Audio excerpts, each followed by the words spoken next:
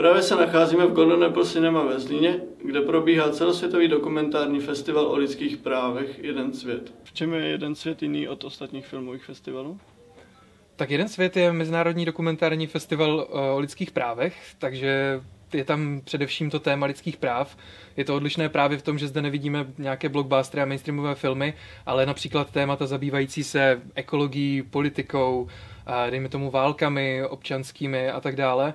A snaží se přiblížit právě ta témata, která v televizi nebo například v našich kinech nemůžeme normálně vidět.